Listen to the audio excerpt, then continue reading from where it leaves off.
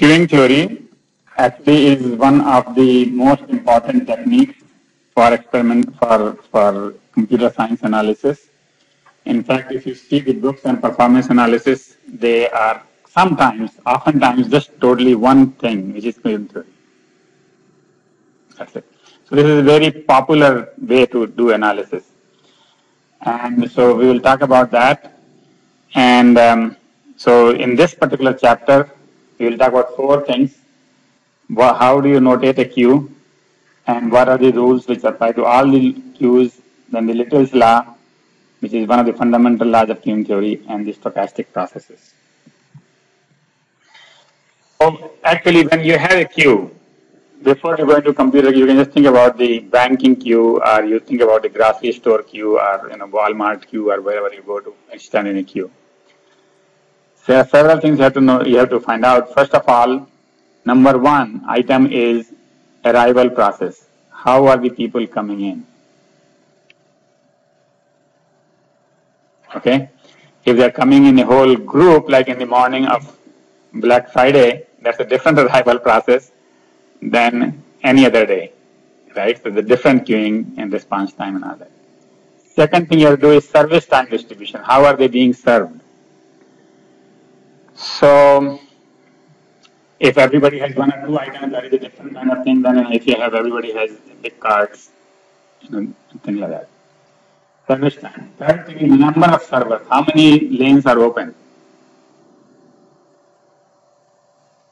Right? Fourth is how many people can stand in the queue. Now, remember in our whole discussion throughout this whole part, rest of the, most of the rest of the course, when we say waiting position, these people who are being served are also waiting. They're not out yet. Alright? And so that causes some confusion. So this is actually, I mean, here, you let me not call them waiting position, waiting. They're, they're basically, when we say size of the queue, size of the queue includes both this and that. Waiting might be actually, so I will, we will see. So this is waiting, this is being served, the total is Q. Alright? And the fifth thing is the population size. People are not in the queue. So they are outside, maybe in the parking lot, at homes, or anything like that. Who are the potential customers? Right? That is the population size. Now, why is the why are all these important? Because if your population size is very small, let's say we are talking about a very special store, let's say a store which is um, which is uh, let's say knitting store. Population size is small. People who are interested in knitting, the queues might be small. On the other hand, if we talk about Best Buy or anything else which is electronics, everybody is interested in, or maybe we are biased, you know. So, so then um, the queues might be larger. So population size effect. Now, all of this applies to computer systems. Why? Like everywhere in the computer systems, we have more than one process running. We have processor queued at the CPU, we have the process queued at the disk, we have processes queued in the network. So there are so many queues everywhere that we need to analyze all this, right? Now, the important thing is that finite buffer size, buffer size is not infinite. In, in, in the computers, basically in the real world as well, if, um, if the number of jobs who want to get that resource is larger than some amount, then we just drop them. In, in Walmart, they start shooting each other actually on the Black Friday. So, so, so they want to analyze this kind of queue. So here's the thing. So when you want to notate a queue, you have to tell me all these six, five things. Six, actually six things, sorry. Sixth one is service discipline. How are they being served? First come, first served, or the heaviest person served first. That, that, that, discipline also applies, the loudest first. Whoever shouts and gets the first, come on. You know, things like that, right? So that has to be explained. And so Kendall made a notation, which is called Kendall notation, A, S, M, B, K, D. A is the arrival process. S is the service time distribution, M is the number of servers, B is the number of buffers, K is the population size, and SD is the service discipline. And an example would be, and actually we will go through each of those first one by one. Arrival processes, the way you do arrival processes, you, you find out what is the distribution of inter-arrival times. So, you sit down at the front, you stand at the front, and you note down the time. Somebody came at 10 o'clock. Somebody came at 10.35. So the inter-arrival time is 35 minutes. Right? We are not interested in absolute time, we are interested in inter-arrival times. So if we note down the time T1, T2, Tj as the arrival times, then tau j is Tj minus Tj minus 1. Tau j is the inter-arrival time.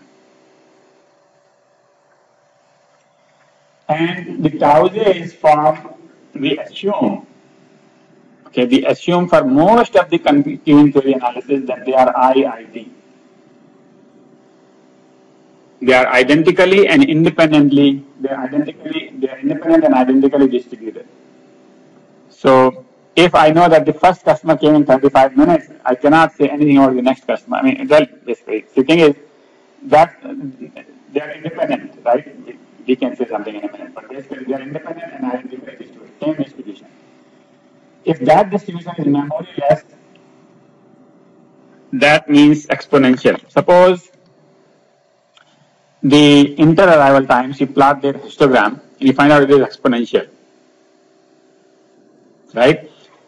Then we can prove that it is memoryless, and I will prove that in later slides. Right now, let's just assume that this is true.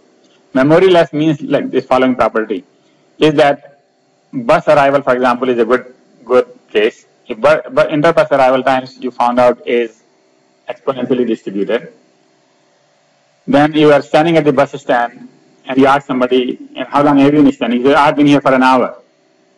All right. So now you think that since he has been waiting for an hour, maybe the bus will come. Right? But you cannot say anything better than he could have said one hour before. That means knowing the past history does not help predicting the future. That is called memoryless. Memoryless means history does not help. Okay?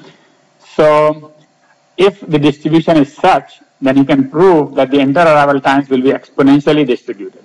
So this is a sufficient and necessary condition. They will be exponentially distributed, and so we, we, we notate that arrival process by M, not by E. Okay? All others are denoted by their names. For example, Erlang distribution, if the inter-arrival times have Erlang distribution, then we say E. If it is hyper-exponential, we say H. If it is deterministic or constant, we say D. If it is general means it could be any distribution, we say G. Alright? So before I go into more, basically you must have heard the term like MM1Q. M. So the first M is the arrival process. And in MM1Q, that M indicates that the inter-arrival times are memoryless. M is the memoryless. Then we go to service time distribution. For the being served, again, we see when, uh, when the student, when, uh, for example, the time at each student uh, spent at the terminal. So if you go to a terminal room and the student log on the computer and then get out, if somebody measured it, it could be, you know, basically an example of service time distribution, right? So the service times we are assuming, generally assume that to be IID. IID means independent and identically distributed. Again, the distribution could be M, E, H, D, G. So what is M? Memoryless, E is for Erlang, G, H for hyper, exponential, and D for deterministic, G for general. And uh, buffer for the waiting positions. Okay, so now we go into the first discipline. First discipline most commonly is first come, first served. FCFS. Sometimes it is last come, first served, like in a stack, or in 911 calls.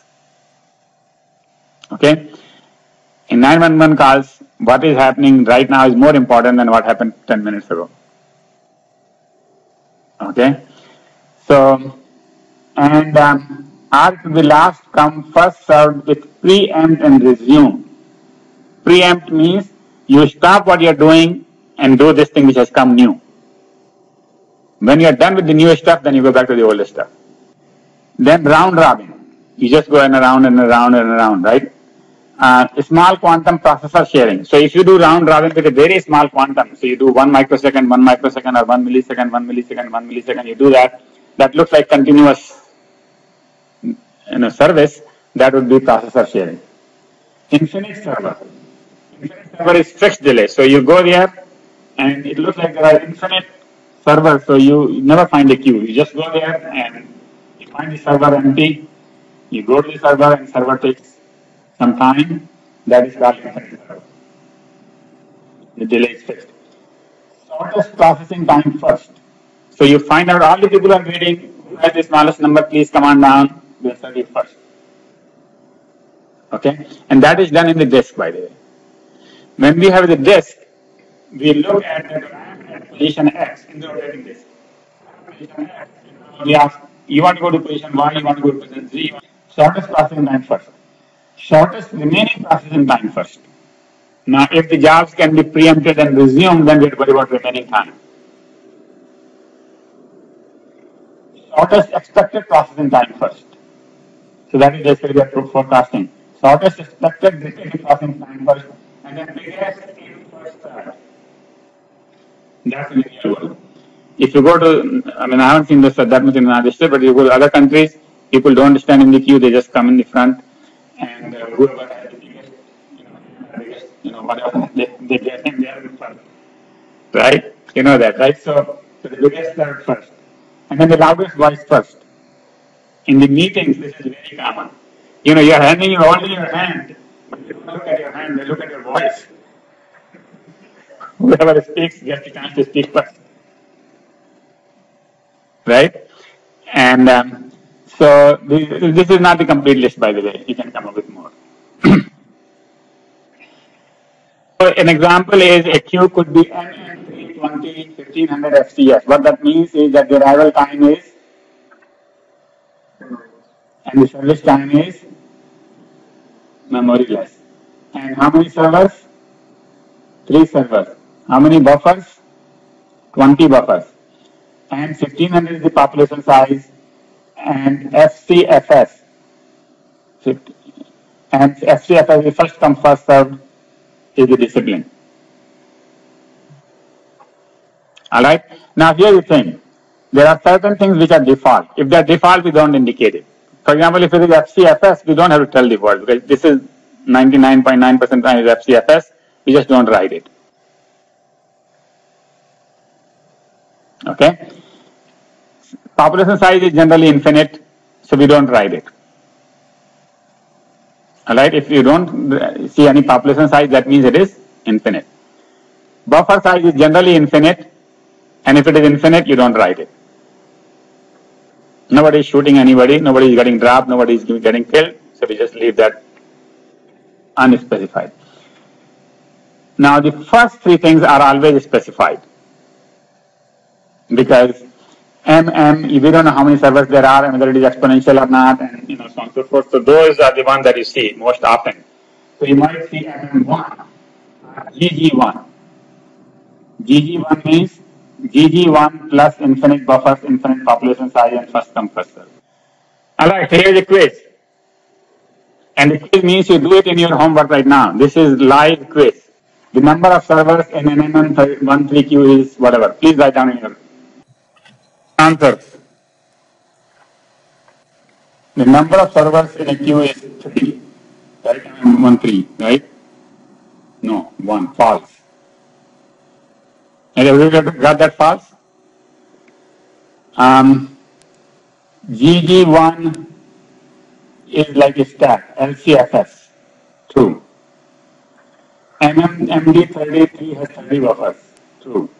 GG1 has infinite population size, true. And GD1 has first come first serve, true.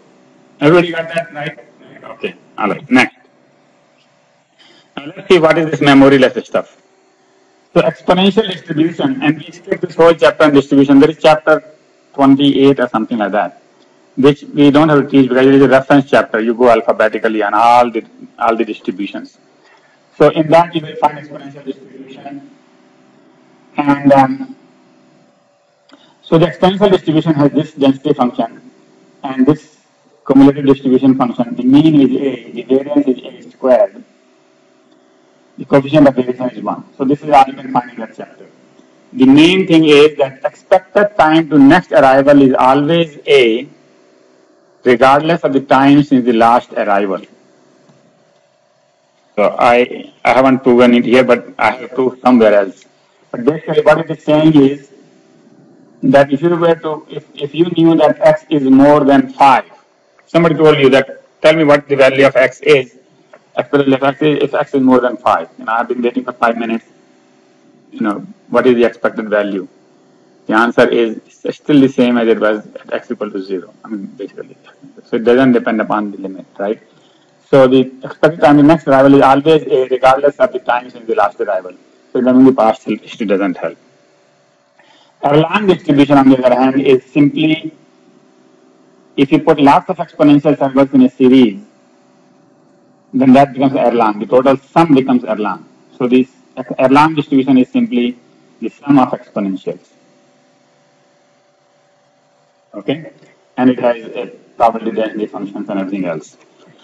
Hyper exponential distribution is if you put a lot of servers in parallel, then the net effect that you get is hyper exponential.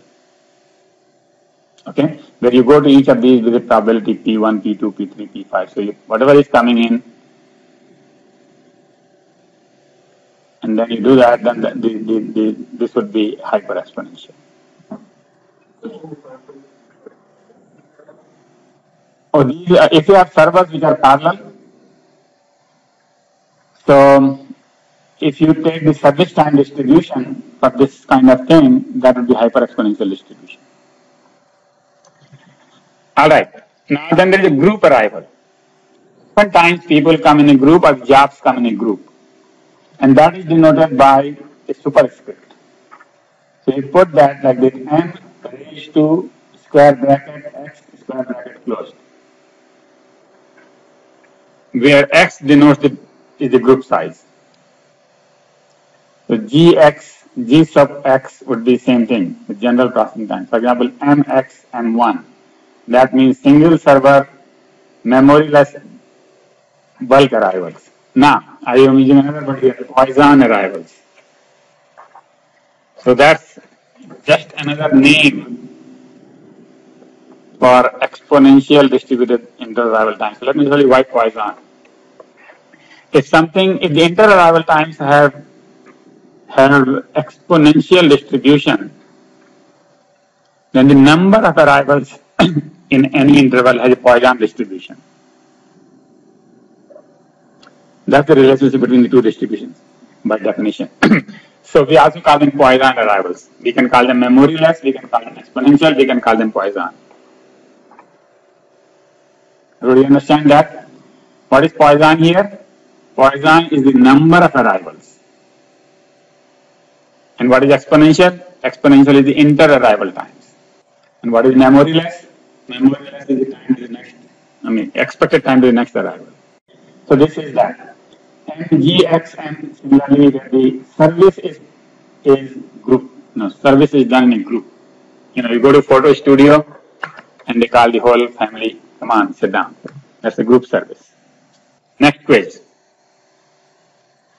Now do it in your thing and, and I will give you a minute maybe at most and then we can go through the answers. The answers are exponential distribution is, is denoted as M. Hyper exponential is the one where you have parallelism, right? Parallel exponential server. And Erlang is the one when you have a Erlang with k equal to 1 is same as, everybody get that one? Okay. but if you have series, if you have just one, then that is exponential. Right? Similarly, if I would have done a hyper exponential, if you had just one, hk, if you had h1, h1 is same as exponential. All right. Now that we understand how we denote the q, now what are we going to compute? So there are several input and output variables. So first thing we use is we already know m, little m is the number of servers. Mu is the um, service rate and lambda is the arrival rate. Now we confuse people a lot by using different terms. So now we said inter arrival times. First we said inter arrival times and we said inter arrival time distribution. But in analysis, we are going to do only arrival rate, lambda. Now what is the rate what is the, the inter arrival time is 5 minutes and the rate is 1 upon 5 per minute. Okay. And so when we say lambda, lambda is the arrival rate. How many arrives per second?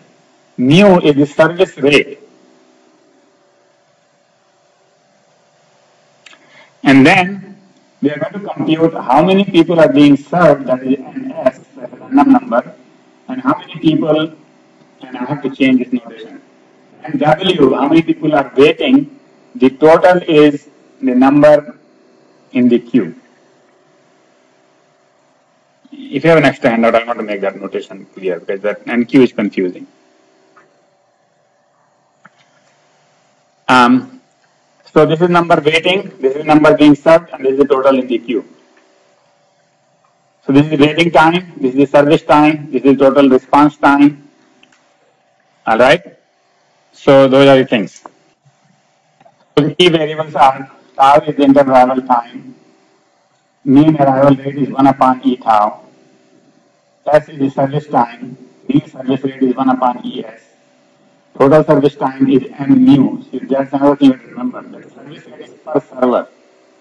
Mu is per server. If you have M servers, then the total service rate is M mu. And is the number of jobs in the system number of jobs in the system is also called number in the queue, or number queue length, sorry, not queue length. So queue length includes the job currently receiving service as well as those waiting in the queue. I will, as I said, I would rather use n sub w right now. In this addition, we have nq as the number of jobs waiting, and s number of jobs receiving service, and so on and so forth. W. All right. There are some rules which are for all the queues one rule is that for every q, lambda must be less than m mu for stability. What does stability means? That the q doesn't keep going up forever. If lambda is greater than or equal to mu, this is a very strict condition by the way, remember this one. This is lambda has to be less than mu. If it is greater than or equal to mu, then the queues can overflow, regardless of what your buffer size is. So the only exceptions are finite population or finite buffer systems. Alright, why finite population? Because in the finite population, suppose if you have population of 1500, all 50 data would come in and there is no overflow. Right? R finite buffer system, basically you define as to what, what you are saying, your queue is, will never exceed the number of buffers. People might die, but basically that is, that is stable. Instability means infinite queue. Sufficient but not necessary because DD1 is stable at lambda equal to mu. So DD1, anybody knows what is a DD1 queue? Deterministic constant. So you have constant arrival time. So every five seconds somebody is coming in and every five seconds somebody is leaving. Right? Then the even though lambda is equal to mu, the queue is stable. In other cases, the queue will not be stable in equality. The only exception for equality is DD1 queue. Number in the system versus number in the. The number in the system is n is always add up, and since they add up, random random number the means also add up.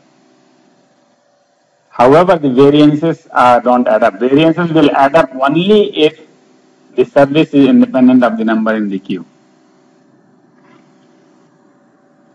Right?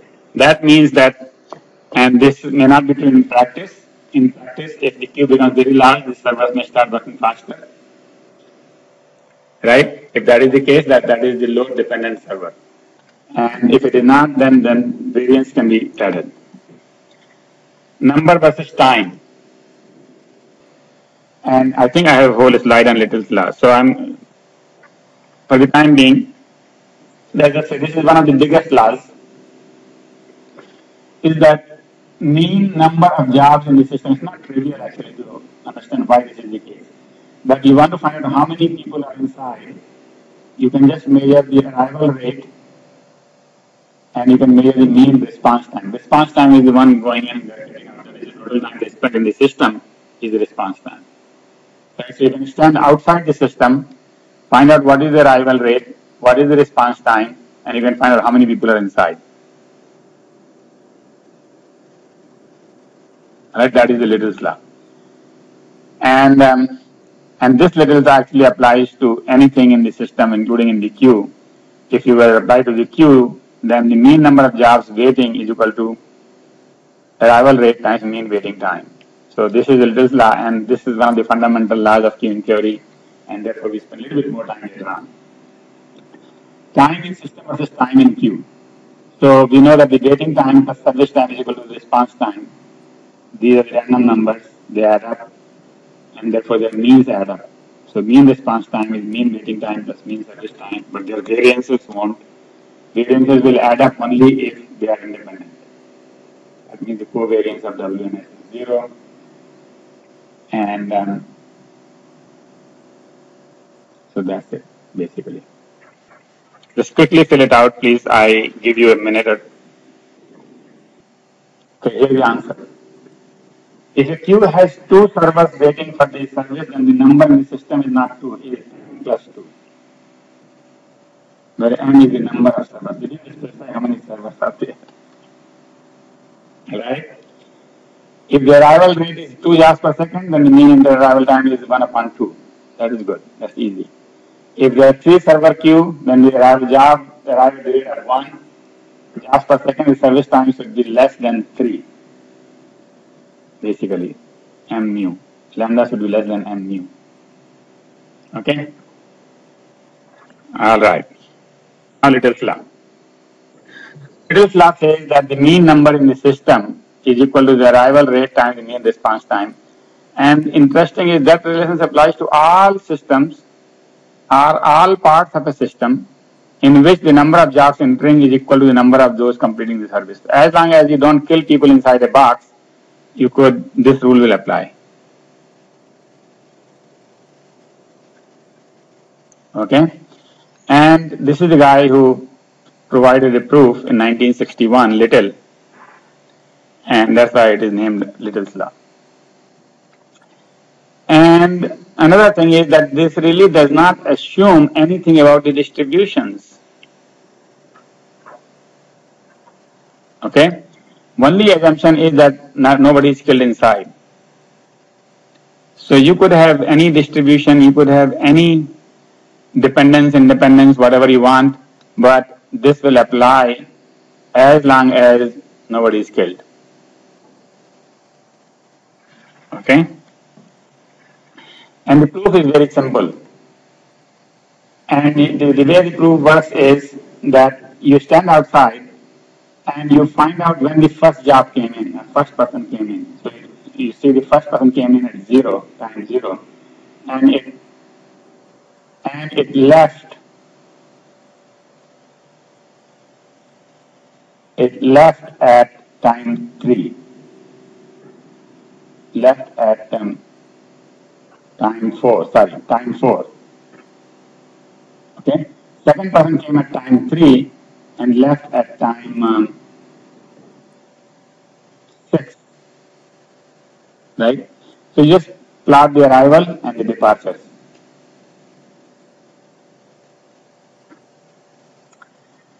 Then you take the same data and plot it differently. How many people were in the system? At time 1, only one person had gone in, nobody had come out, so we have one person. At time 2, only one person. At time 3, only one person. Now after time 3, we have two people and so on and so forth. You can plot the same data in a different way. Third way you can plot the system is that for each customer, you can find out how long they were in the system. You know that they were event in time 1, time 0, came back at 4, this time was 4. Second customer went at 3, but came out at 6. This time was this and that, right? These three areas are identically equal. Okay? If you believe that statement that these three areas are equal, then we can prove this thing that basically the hatched area hatched area is basically equal to J, and then we divide by different things to find out the relationship. So mean number in the system, you can find out mean number in the system from this graph. So you take the area H, sorry, J, the area J, divided by the total time, J upon T is the mean number in the system. Right? That is equal to N upon T times J upon T. N is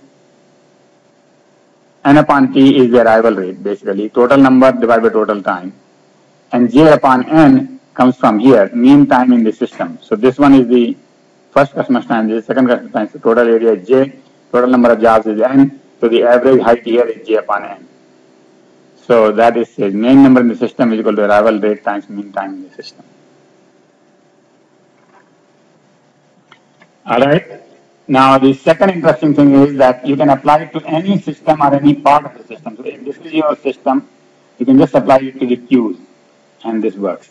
You can just apply it to the waiting people and it works. You can apply to the whole thing. Okay. So for example, you can say mean number in waiting here, mean number waiting is equal to arrival rate times mean waiting time. Similarly, mean number in service, if you apply here, mean number in service is equal to arrival rate times mean service time. If you apply to the whole thing, you can see the same thing, mean mean number in the system equal to arrival rate times the mean response time. Okay? So that's very powerful law. So here's something that we can do with this law now. We monitor a disk server and show that the average time satisfied an IO request was 100 milliseconds. The IO rate was about 100 requests per second. What was the mean number of requests at the server? So we are we are average, we know the response time, 100 milliseconds. We know the arrival rate, 100. So how many requests? So basically mean number in the server equal to arrival rate times response time. Arrival rate is 100 jobs per second. Response time is 0.1 second. And therefore the product of the two is 10 requests. So that is the queue length at the disk. Alright. Alright. Since we are doing it fluids, we might as well do this. So the lambda is 120 upon 60. 120 requests were received in one minute. So that is 2 per second. R is 1 second. So N is 2. How many will get 2? Okay, alright. So that's, okay, so now next go to the stochastic processes. um, so when we say random number, we know random number, what it means, right? Now we are going to talk about processes. There is little bit more you know, statistics here. So processes means function of time. So if some random number is a function of time, call it a stochastic process. Okay? And um, so for example, number of jobs in the queue, in the CPU, number of jobs you measure right now, waiting time is a process. So most of the things that we are talking here, you know, in this part is function of time, and therefore that is a process. There are different special processes that we'll talk about, discrete and continuous state, Markov, and uh, birth-death and Poisson. So what is a discrete or continuous state process? Discrete, you know what means is finite or countable. For example, number of jobs in a system cannot be 0.1, it has to be 0, 1, 2, 3, 4, 5. That's a discrete process. So it's a discrete state process. Waiting time is a continuous process. Waiting time could be 2.3335 seconds, right? So that is a continuous value. When something is discrete state, we call it a stochastic chain. And so for example, this, this thing is a stochastic chain. No big deal. Alright. Then there are discrete and continuous time processes, and so please don't confuse the discrete and continuous time processes with discrete or continuous state process. State means the y value, time is, is, is t right? So time might be continuous in most systems, although in computers they are not continuous. In computers, you really look at it, instructions are done, and then the next instruction and next instruction. So they have they have the time moves in steps, right? So it's a discrete time system.